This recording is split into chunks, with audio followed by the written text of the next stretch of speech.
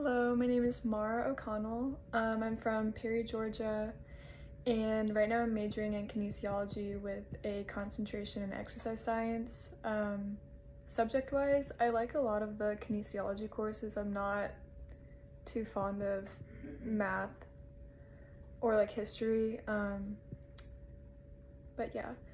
Um, I'm taking this class because it's required and I think it seems pretty interesting. And then my career plans with that, I want to become a DPT, but if things don't work out, I'm looking at either nutritionist or a personal trainer.